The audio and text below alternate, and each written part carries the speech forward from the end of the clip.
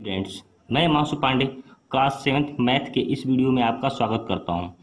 आज हम लोग देखेंगे इस वीडियो में सेकेंड चैप्टर जिसका नाम है फ्रैक्शन एंड डेसिमल तो सबसे पहले हम डिफाइन करेंगे कि फ्रैक्शन क्या होता है देन वी डिफाइन करेंगे डेसिमल क्या होता है। तो आइए अपने लेसन को स्टार्ट करते हैं। देखिए डिफिनीशंस की बात करें तो डिफिनीशन में यदि फ्रैक्शन की डिफिनीशन कहें तो fraction is a number that represent part of a whole fraction भी क्या एक नंबर है जो कि एक होल नंबर का पार्ट होता है। ठीक है? हमने क्या बोला कि फ्रैक्शन भी एक नंबर है जो कि एक होल नंबर का पार्ट होता है। जैसे मैं बोल दूँ कि वन क्या है? वन एक होल नंबर है। वन आपका होल नंबर है। अब होल नंबर के पार्ट को देखें। तो होल नंबर का पार्ट क्या होगा? यदि यदि हम ए, एक को वन को टू पार्ट में डिवाइड कर दें तो क्या होगा? वन बाई टू और वन बाई होगा ना? तो यहाँ देखिए, ये एक होल नंबर था। इस होल नंबर का पार्ट है वन बाई टू और वन बाई टू तो वन बाई टू ही क्या है? फ्रैक्शन है। इसलिए कहते हैं हम, क्या कहते हैं कि fraction is a number that represent a part of whole whole number का एक पार्ट होता है। फ्रैक्शन लिखते वक्त हमेशा हम ध्यान देते हैं कि फ्रैक्शन को हम पी अपान क्यू के फॉर्म लिखते हैं। मतलब कि पी अपान क्यू के फॉर्म में होना चाहिए फ्रैक्शन जहाँ पर क्यू की वैल्यू कभी भी ज़ीरो नहीं होनी चाहिए। क्यू की वैल्यू ज़ीरो होगी तो क्या होगी? देख लेते हैं। जैसे कि मान लीजिए, यहाँ हमने लिखा वन बाई टू यदि हम वन बाई ज़ीरो लिख दें तो ये फ्रैक्शन नहीं होगा। वन बाई ज़ीरो लिखा हुआ है तो ये फ्रैक्शन नहीं होगा। क्योंकि डिफिनीशन में साफ़ साफ़ बोला हुआ है कि कभी भी क्यू की जगह पर ज़ीरो नहीं होना चाहिए। पी की जगह पर चाहे जो भी वैल्यू रख लें, चलेगा, लेकिन क्यू की वैल्यू जगह पर ज़ीरो नहीं होना चाहिए। तो ये फ्रैक्शन का डिफिनेशन है जिसको आप लोग याद कर सकते हैं। आइए, आगे चलते हैं। आगे बात करते हैं फ्रैक्शन के टाइप की। तो फ्रैक्शन की टाइप की बात करेंगे तो यहाँ पर तीन प्रकार के फ्रैक्शन होते हैं। कौन कौन से? देखते हैं। तीन प्रकार के फ्रैक्शन की बात करेंगे हम लोग। देखिए, पहला है प्रॉपर फ्रैक्शन दूसरा है आपका इम्प्रॉपर और तीसरा है मिक्स फ्रैक्शन पहला क्या है आपका? प्रॉपर फ्रैक्शन दूसरा इम्प्रॉपर और तीसरा है आपका मिक्स फ्रैक्शन समझ में आया फ्रैक्शन समझ में आया? उसके पार्ट समझ में आया। अब हम एक एक फ्रैक्शन को अलग अलग डिफाइन करेंगे कि प्रॉपर फ्रिक्शन क्या होता है इम्प्रॉपर फ्रिक्शन क्या होता है और आपका मिक्स फ्रिक्शन क्या होता है। क्लियर इतनी चीज़ें क्लियर हुई? तो आइए, हम पहले आपको डिफाइन करते हैं प्रॉपर फ्रिक्शन क्या होता है। देखिए सबसे ऊपर प्रॉपर फ्रैक्शन की डिफिनीशन लिखी हुई है। फ्रैक्शन हुज नोमिनेटर और लेस देन हाँ एक बात और ध्यान दीजिएगा। यहाँ पर यहाँ पर जो पी अपान क्यू है पी अपान क्यू है। यहाँ पी को क्या बोलते हैं? पी को न्यूमिनेटर बोलते हैं, तथा क्यू को क्या बोलते हैं? डी न्यूमिनेटर बात समझ में आई? इस, यहाँ पर P को न्यूमिनेटर बोलते हैं और Q को डी न्यूमिनेटर तो आप इसको ऐसे लिख सकते हैं। क्या लिखेंगे? यहाँ पर लिख लेंगे नोमिनेटर और यहाँ पर लिख लेंगे क्या? Denominator okay denominator ये आपको बातें समझ में आई होंगी। ठीक है? आइए, आगे चलते हैं। आगे देखते हैं हम लोग प्रॉपर फ्रैक्शन की बात करते हैं। कि प्रॉपर फ्रैक्शन क्या होता है? प्रॉपर फ्रैक्शन में देखिए, जैसा कि आपको पता होगा कि न्यूमिनेटर किसे कहते हैं और डी न्यूमिनेटर किसे कहते हैं। तो प्रॉपर फ्रैक्शन की डिफिनेशंस की बात करते हैं। तो लिखा हुआ देखिए सबसे पहले कि फ्रैक्शन हुज नोमिनेटर और less than the D nominators ठीक है? न्यूमरेटर क्या होता है? डी नोमिनेटर से छोटा हो। यदि ऐसा फ्रैक्शन आपके पास लिखा हो या फिर कहीं आसपास हो तो ऐसे फ्रैक्शन को बोलते हैं हम लोग प्रॉपर फ्रैक्शन जैसे कि एग्ज़ाम्पल के तौर पर देख लीजिए। जैसे मैं बोल दूँ वन बाई टू तो वन बाई टू में क्या है? वन क्या है? नोमिनेटर है और टू क्या है? डी न्यूमिनेटर है। वन नोमिनेटर है और टू आपका डी नोमिनेटर है। तो बताइए नोमिनेटर यहाँ पर जो नोमिनेटर है, वह क्या है? छोटा है। जिधर मुँह खुला रहता है, उसको बड़ा बोलते हैं। ठीक ना?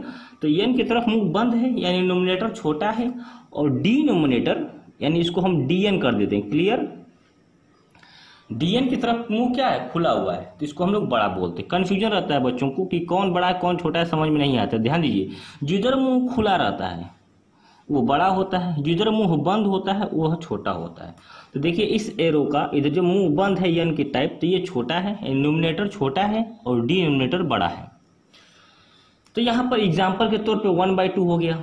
और भी कई सारे एग्ज़ाम्पल सोच सकते हैं। जैसे मैं बोल दूँ फाइव बाई सेवन तो फाइव बाई सेवन भी क्या है?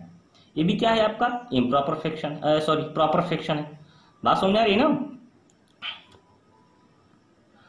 उसके बाद और एग्ज़ाम्पल ले सकते हैं। और एग्ज़ाम्पल की बात कर लें तो जैसे लिख सकते हैं क्या? जैसे मैं बोल दूँ कि फाइव बाई टेन बताओ। ये नोमिनेटर है कि डी सॉरी ये प्रॉपर है? तो कहेंगे हाँ ये प्रॉपर है। ठीक ना?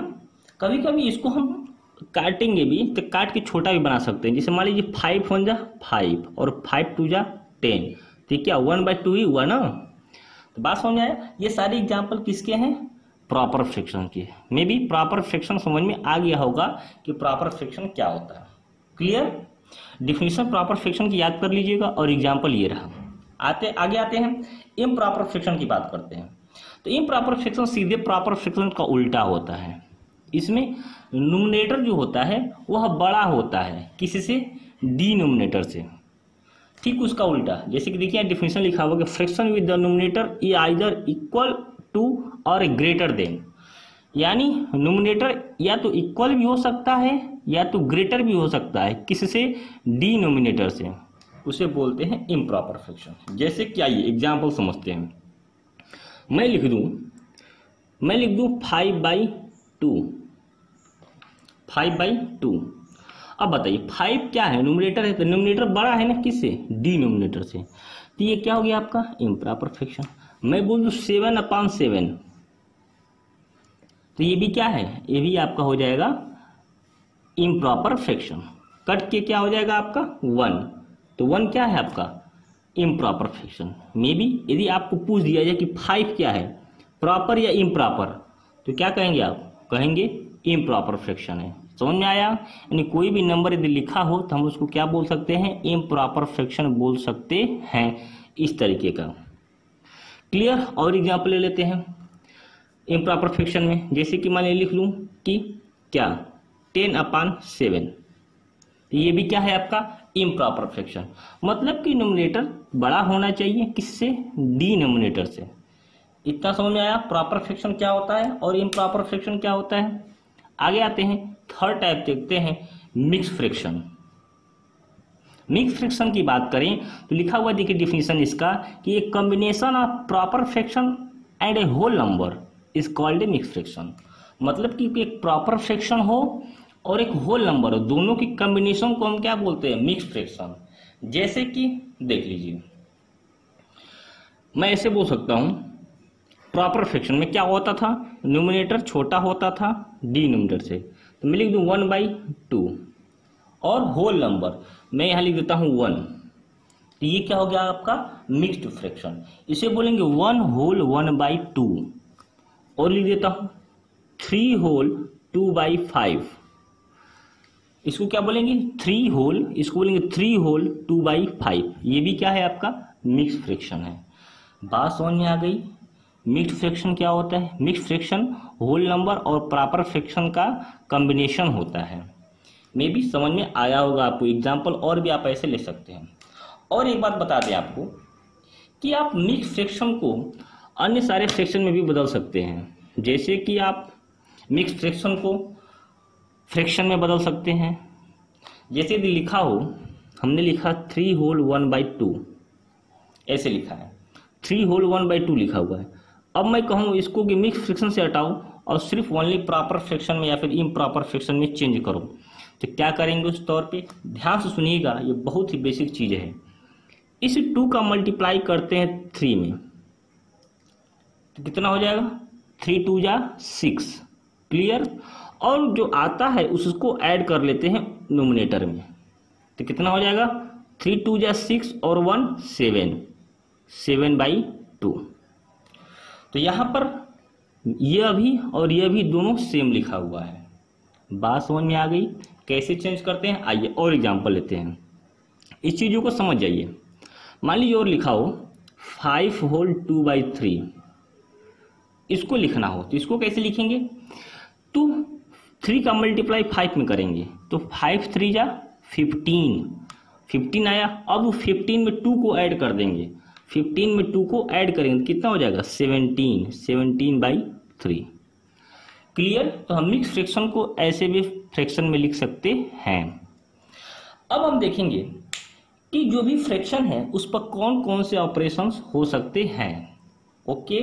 आइए, अब हम देखेंगे कि फ्रैक्शन पे ऑपरेशन कौन कौन से होंगे यहाँ तक आप लोग डिफिनेशन याद कर लीजिएगा और नोट बनाइए। हम लोग देखते हैं एडिशन ऑपरेशन तो एडिशन ऑपरेशन देखने के लिए हम दोनों हम दो फ्रैक्शन लेते हैं ओके क्या लेते हैं? दो फ्रैक्शन तो हम ऐसा फ्रैक्शन लेंगे जिसका कि डिनोमिनेटर सेम है। तो हमने पहला फ्रैक्शन लिया, मान लीजिए वन बाई टू और एक और फ्रैक्शन लिया वन बाई टू इस कंडीशन में दोनों का डिनोमिनेटर सेम है। सेम होने के कंडीशन में क्या करते हैं? आप डायरेक्ट दो लिख देंगे यहाँ पे टू डायरेक्ट और ऊपर का डायरेक्ट ऐड कर देंगे। One one, two. डायरेक्ट। समझ में चीज़ें ना, डायरेक्ट ऐड कर देंगे। यदि कब? डिनोमिनेटर सेम हो तब। एक और क्वेश्चन, जैसे मान लीजिए लिखा हो टू अपान फाइव, और और लिखा हो यहाँ पे थ्री अपान फाइव। ऐसे लिखा हो। ठीक है? टू अपन फाइव और थ्री अपन फाइव लिखा हो। तो क्या करेंगे? इस कंडीशन में भी आप आराम से नीचे फाइव लिख देंगे यहाँ। और ऊपर का डायरेक्ट ऐड कर लेंगे। तो क्या हो जाएगा ये? फाइव अपन फाइव बात समझ में आ रही है? यह कब है? जब डिनोमिनेटर सेम होगा तब। आइए, और देखते हैं आगे एग्ज़ाम्पल ये देखिए, ये दो क्वेश्चन है। इसको सॉल्व करना हो तो क्या करेंगे? पहले वाले में आराम से इसका डिनोमिनेटर टू लिख लेंगे। ठीक है? ये कैसे टू लिखा जा रहा है? इसके लिए आपको समझ में आएगा जब हम आगे बताएँगे तब। आराम से टू लिख लीजिए। दोनों में सेम है तो लिख लीजिए। उसके बाद डायरेक्ट ऊपर ऐड कर लीजिए। थ्री और सिक्स कितना हो जाएगा? Nine direct nine upon two answer हो जाएगा। इसका एल्सियम लेंगे तो क्या हो जाएगा? इसके नीचे क्या लिखेंगे? सेवन और ऊपर क्या होगा? डायरेक्ट ऐड कर देंगे तो फाइव और फोर ये हो जाएगा nine nine by seven direct समझ में आ रहा है ना? कैसे? जब डी डिनोमिनेटर सेम हो, तब सॉल्व करते हैं। अब आइए देखते हैं, जब डी डिनोमिनेटर सेम नहीं होता है, तब कैसे सॉल्व करते हैं? देखिए क्वेश्चन यदि ऐसे दिया हो two upon five plus three upon four तो इसको ऐड करने के लिए क्या करेंगे? कुछ नहीं करना, आप आराम से एक पहले लाइन ड्रा करेंगे। नीचे क्या करेंगे? फाइव में फोर का मल्टीप्लाई कर देंगे। तो कितना होगा? फाइव फोर या ट्वेंटी कितना होगा? फाइव फोर या ट्वेंटी बात समझ आ रही है ना? फाइव फोर या ट्वेंटी अब देखिए, अब फोर का मल्टीप्लाई टू में होगा। फोर का मल्टीप्लाई टू में तो कितना हो जाएगा? Ten ten eight four two से कितना होता है? एट प्लस अब फाइव का मल्टीप्लाई थ्री में तो फाइव पहुंचेगा थ्री के पास तो कितना हो जाएगा? फाइव थ्री जा फिफ्टीन बात समझ में आ रही है ना? हाँ। अब ऐड करेंगे तो कितना हो जाएगा? ट्वेंटी थ्री बाई ट्वेंटी ये आंसर हो जाएगा। तो कैसे सॉल्व हुआ समझ में आया? वाले हमने क्या किया? इन दोनों का मल्टीप्लाई ट्वेंटी उसके बाद क्या किया? फोर का मल्टीप्लाई टू में। तो कितना हो गया? एट फिर हमने क्या किया? फाइव का मल्टीप्लाई थ्री में तो कितना हो गया? फिफ्टीन फिफ्टीन दोनों को ऐड किया ट्वेंटी थ्री अपॉन ट्वेंटी समझ में आया? और देखिए, और एग्ज़ाम्पल सॉल्व करते हैं, दूसरा। ऐसे क्वेश्चन दिया हो। तो इसके लिए क्या करेंगे? पहले लाइन ड्रा करेंगे। फिर क्या लिखेंगे? फाइव में टू का मल्टीप्लाई करेंगे। तो कितना हो जाएगा? फाइव टू ज़ा टेन बात समझ में आ रही है? कितना हो गया? टेन अब फाइव का मल्टीप्लाई वन में करेंगे। तो फाइव वन ज़ा फाइव फाइव वन ज़ा फाइव प्लस प्लस का साइन है तो प्लस का साइन लगाएँगे। माइनस का साइन होता तो माइनस का साइन लगाते प्लस है तो प्लस लगाएँगे। टू का मल्टीप्लाई थ्री में करेंगे तो कितना हो जाएगा? टू थ्री या सिक्स ध्यान दीजिएगा मल्टीप्लाई करेंगे। Six five eleven upon ten बात समझ में आया? कैसे करेंगे? वीडियो को पुश करके आप लोग ये क्वेश्चन लगाइए। जैसे लिखा हो टू अपान फाइव और फोर अपान थ्री। ठीक है? तो वीडियो को पुश करके लगाए होंगे। आइए, आगे हम लगाते हैं। तो क्या करेंगे? यहाँ लिखेंगे फिफ्टीन फाइव का मल्टीप्लाई थ्री में कितना होगा? फिफ्टीन उसके बाद थ्री का मल्टीप्लाई टू में थ्री का मल्टीप्लाई टू में, ये कितना हो जाएगा? सिक्स और फाइव का मल्टीप्लाई फोर में तो फाइव फोर जा ट्वेंटी। ये कितना हो जाएगा? ट्वेंटी सिक्स अपन फिफ्टीन, ये हो जाएगा आंसर। बात समझ में आ रही है? कैसे सॉल्व हो रहा है? तो ऐसे सॉल्व करते हैं हम लोग फ्रैक्शन को। हमने दोनों बताया आपको, जब नोमिनेटर सेम हो तब और जब सॉरी जब डी नोमिनेटर सेम हो तब और जब डी नोमिनेटर सेम नहीं हो तब। दोनों तरीके के फ्रैक्शन को ऐड करके आपको बताया। अब मैं आपको कुछ क्वेश्चन दे दे रहा हूँ, आप उसको सॉल्व कीजिएगा। आइए एक एग्ज़ाम्पल और देख लेते हैं। ये कुछ होमवर्क बेस्ड क्वेश्चन है, जिसको आप लोग खुद से सॉल्व कीजिएगा। फिर मिलेंगे नेक्स्ट वीडियो में नए कॉन्सेप्ट के साथ। तब तक के लिए बाय बाय टेक केयर